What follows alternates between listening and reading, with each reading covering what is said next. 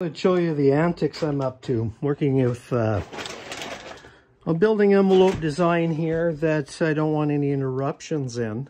And uh, this is sometimes what I'll do but prior to crews coming.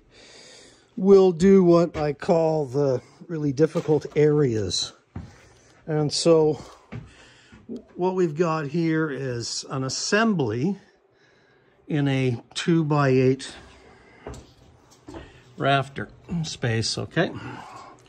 Now to be fair, there is, there's a little layer of half inch plywood on top. So we do get an extra half inch. And that's because I have a plywood deck here, but as it meets the edge of the roof, that's all one by 12 pine. And so at least the framing, sorry, the framing and the structure here is all on one elevation. I don't make a step for different sheathing. Because you could technically cover the whole thing. Now these are continuous vented. And of course they're sealed, right? Uh, you can see oh, that the vents come in because there's no soffits on this building.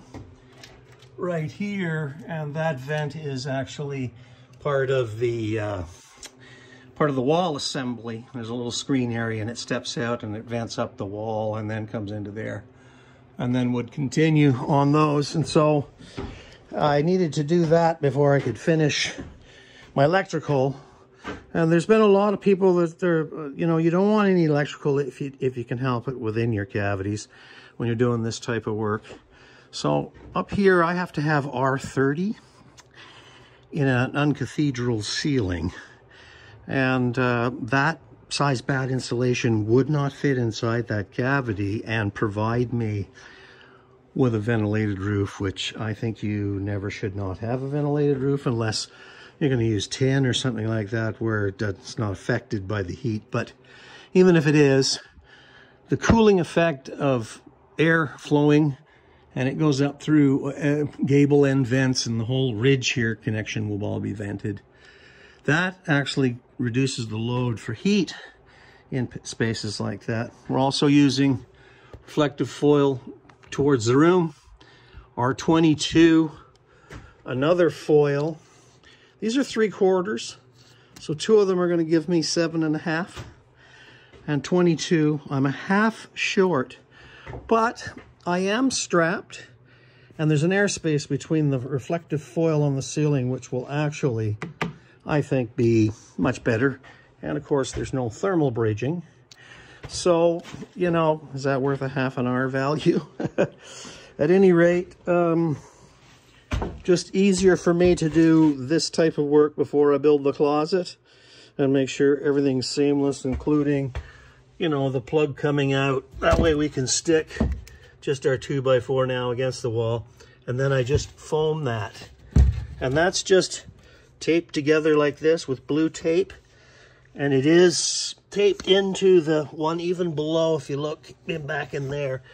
It's taped into the one that folds up and folds down and also around. And just blue tape, Super 6. I don't know why Super 6 gets such a, a bad rap. We are using that as the foil and vapor barrier. And we taped, before we put the strapping, little pieces, little triangles you can see them on that one so that we can finish up. Uh, once again, Roxwell, I think you need to cut nice and neat. It's not really a packing. It's not like pink, I don't think. You want at least its orientation this way. It is fibrous this way. It's So I don't think you'd ever want to stuff stuff vertically. And uh, so hopefully I can finish the wiring, which I did all this is to finish the wiring. I have three phase up here and uh, controls. You can see them coming out of the floor. That's 15 horsepower, 240 volt three phase. Plus I'll probably use these little closets, which this space is pretty much useless.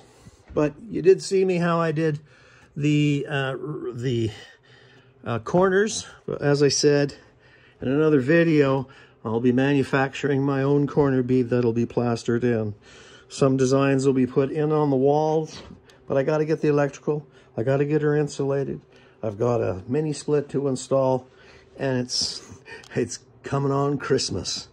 Anyway, sorry for uh, not keeping you guys abreast. This is what I've been doing. Thanks for watching.